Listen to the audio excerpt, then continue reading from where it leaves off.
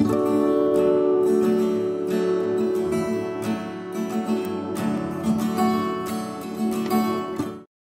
everyone, it's Danni. Welcome back to my channel. I'm here today with the layout for the Scrappy Sisters Scrap September where they are making a video every day for the month of September and they are having a guest designer join them every single day and today it is my turn and I'm so excited to be joining in. I am also going to leave a link to their channel in the description box. They are absolutely awesome. Um, I love their channel. I watch all their videos, so definitely make sure to go follow the Scrappy Sisters if you don't already. And this video will also be going on the playlist for this Scrappy September, along with all the other layouts being made by the guest designers and by the Scrappy Sisters, who are Katie and Jess. So for my layout, I am obviously starting with a piece of white cardstock, which doesn't happen all that often for me, um, I don't think, but I my prompt was mixed media. So we all had a prompt for each of the days and mine was mixed media. So I am going ahead and gessoing a white piece of paper or a white piece of cardstock. Um, I find if you're not sure whether you're going to go with your mixed media, um, white is always a good place to start and I actually I start out completely differently to how it ends up but I wanted to leave uh, my sort of process in here for you guys so you can sort of I don't know I think a lot of people struggle with mixed media because they, they think it looks messy while they're doing it it doesn't look any good uh, they they think they've messed up and I'm here to tell you that it almost always looks bad until you put your photos and your embellishments on top. Um, so with this one, I, I'm going ahead obviously and I'm doing some stripes with paint and I end up not liking it. Um, I don't necessarily not like it. Uh, I don't like it for this photo and I completely change I completely change up what I'm doing and that's fine. I will go ahead later and um, use this background on a for a different photo. I've actually already used it and it turned out really well. So never throw out your mixed media layouts thinking they look terrible. So I ended up, I did those stripes you saw, I went in with a couple of Colour Blast pastes as well. I just, at this point, I decided um, I wasn't loving it. And I'd mixed up this uh, paint for that background, but it wasn't quite, the right color. So I'm just going ahead here and slapping it down on a piece of white cardstock because I don't like to waste any uh, media that I have mixed up. So I'm just slapping it down and at this point I hadn't even intended to use it for this layout, but it just ended up working really well. So I'll go in later and do that. So it's just a really soft sort of bluey purple color that I'm using here and I'm just sort of feathering it out really, really roughly, really softly with my paintbrush, and then just a little bit of that pink Colour Blast paste. I think it's in Punch, the colour, um, just to sort of fill in the gaps. And now at this point, I because I was struggling with my background, I've just moved, I put it aside and moved on. So now I'm trimming my photo down. See, at this point, I'm still planning on using this background. And you can see I've put a bit of white modeling paste on there as well. But um, I just, I'm not liking it. I'm I'm putting my photo on there. The colors aren't right. It just isn't working for me. So I, I keep persevering because I I hate admitting admitting defeat, but I just I gave up and I moved on. And I sort of thought, I wonder what this one will look like. So I pulled it out and I put uh, my photo on top, and the colors matched really nicely. It just was really lucky, happy accident. So, like I said, never throw out your um, mixed media layouts if you're not happy with them. So here I am using again just some white modeling paste and that is a stencil from the Reject Shop or from Rosie Studio, um, depending where you are.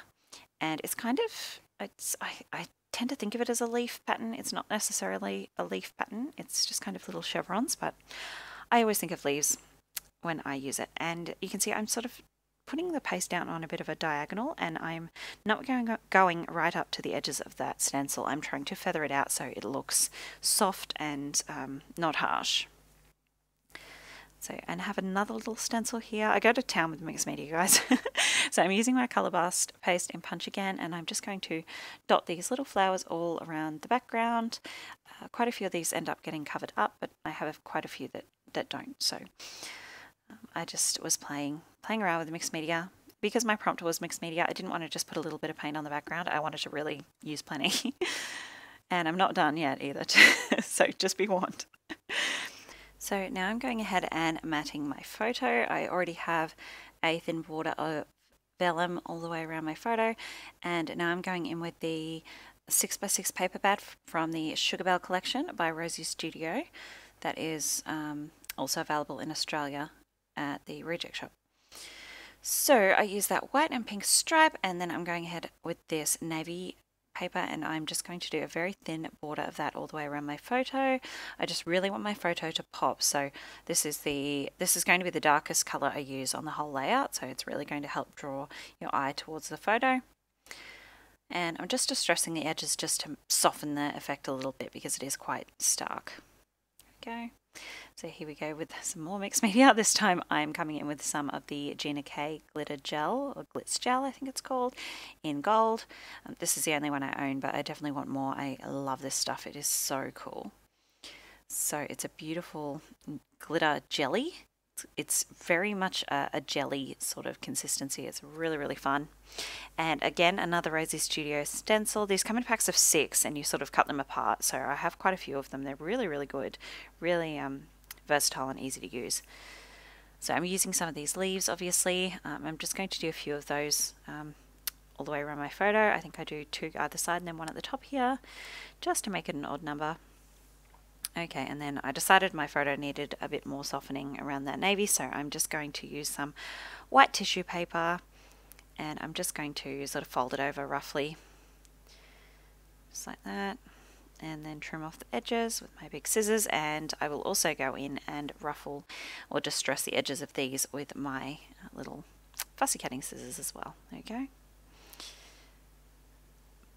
There we go. So I have some double-sided tape on the back and I will also have some wet glue there and I am going to stick on some adhesive foam go. And I'm using plenty of adhesive and um, so tape adhesive and wet glue as well because because of all that mixed media on the background. Uh, adhesives tend not to like to stick to mixed media, so you definitely want to use some wet adhesive as well. So these leaves I have are just some uh, that I've cut out on my silhouette just on plain white. Uh, they've been sitting in my stash and I thought I would use them. So all I'm doing is putting a little bit of tacky glue right at the base of the leaf and gluing that part down and leaving all the tops of the leaves just soft and fluttery. Lots of beautiful dimension and texture. So I have some of the bigger ones and the smaller ones. They're the same um, design, they're just cut at different sizes. So I find these are really good to have just in my stash for um, just when I want to pull in a bit of foliage. I love that white against the mixed media. It's just very soft. This is a photo of my Nana and my youngest little girl. Um, this was her first birthday party. So it's definitely a layout I want to keep nice and soft and delicate. So this one I'm using now, another, another type of mixed media. This is the Liquitex Glass Bead Gel. This is really cool stuff. Um, some of the layouts I've done with it, it doesn't show up. And then other ones like this, it just looks absolutely amazing. It's really hard to see on camera, but you'll see in the close-ups. It's so glittery and sparkly and pretty. I just, oh, I, I, adore it on this layout. So I'm just pushing it on with a, a, silicone spatula. That is just a kitchen spatula. I find that's the easiest way to uh, apply it. And I'm doing it either side of the photo at the top and the bottom, uh, running it at a diagonal across the page there just adds a really pretty soft touch. It's colorless and transparent, so um, it it's not adding any extra color, it just adds more of that beautiful texture and sparkle. So these stickers are called Beautiful from, I think they're Maggie Holmes collection, um, but I, I just bought them on their own. They're really beautiful gold glitter. I thought they went with that glitter gel on the background really nicely. And I've sort of rearranged some of those letters to spell out heart there. I will add an S a little bit later, as you will see.